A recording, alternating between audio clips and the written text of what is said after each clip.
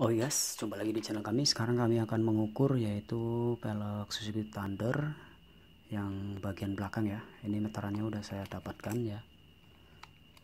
Nah di sini itu ada ukuran cm, kemudian inch. Nah untuk motor ini peleknya yaitu ukuran inch ya. Yang dipakai, nah ini 0, sini 1, 2, 3. Jadi di sini teh. Jadi dari sini ke sini dihitung satu, baru dua, bukan ini satu, dua bukannya. Jadi dari nol dulu ini dapat satu. Ini satu in ini nama ini ya. Ini dua in satu dua. Jadi yang diambil ini yang tengah ininya. Satu dua tiga ya. Oke coba kita cek di pelek. Ya. Nah ini dapatnya tiga in ya. Kita lanjut pada bagian pelek depan. Pelek depan Suzuki Thunder ya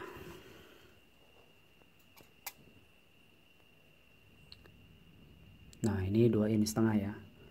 Jadi udah cukup jelas teman-teman Suzuki Thunder ini yang nanya ban ataupun ukurannya. Kalau ringnya ini ring 18 tapi untuk ukuran peleknya depannya dia 2,5 in ya.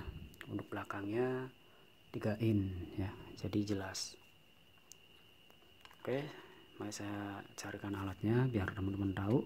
Kita ukur ya Oke sekian terima kasih. Semoga video ini bermanfaat. Jangan lupa like dan klik subscribe ikuti channelnya dan sampai jumpa di video selanjutnya oke? Next video selanjutnya ya